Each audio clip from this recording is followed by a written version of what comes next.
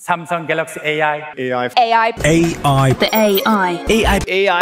Samsung made big waves in the tech world with the launch of its flagship device, the Galaxy S24 Ultra. It was a game changer, introducing artificial intelligence to smartphones for the first time. This groundbreaking move set a new standard in the industry, leaving competitors scrambling to keep up. But Samsung isn't resting yet.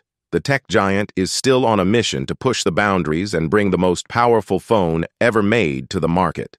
We've been eagerly anticipating a bigger battery size to handle all the heavy tasks without constantly worrying about running out of battery life. However, Samsung seems to have a different plan in mind. They're determined to keep the S25 Ultra design the same as its predecessor, the S24 Ultra, so don't expect a physical increase in battery size. But wait, thanks to the cutting-edge Snapdragon 8 Gen 4 with its superior AI capabilities, Samsung is introducing Battery AI.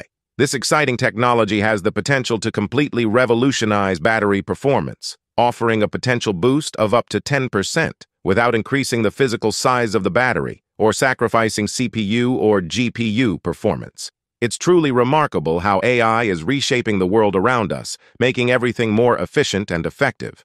Speaking of battery upgrades, we're all accustomed to expecting faster charging with each flagship release. However, the S25 series might stick with the 45-watt fast charging standard. This might disappoint many users because we need at least 100-watt fast charging to match the pace of our busy lives. But wait, let's not lose hope just yet. Samsung is known for its surprises, and they may just pull something out of the bag to surprise us all. So, fingers crossed for some last-minute revelations.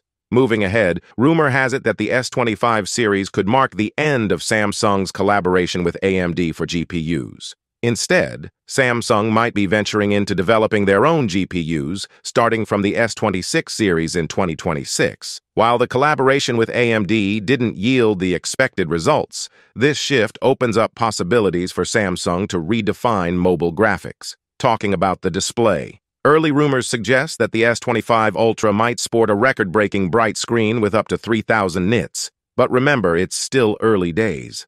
As for the camera, speculation points towards Samsung sticking with the same main camera sensor as the S24 Ultra, but with added optimizations and enhancements. However, rumor has it that Samsung is gearing up to boost the ultra-wide-angle sensor from 12 megapixels to a whopping 50 megapixels. So, get ready to capture every detail with stunning clarity. Exciting times lie ahead for Samsung fans. What are your thoughts on the upcoming Galaxy S25 Ultra? Share your thoughts in the comments below and stay tuned for more updates by subscribing to our channel. With that being said, I will see you guys in the next video.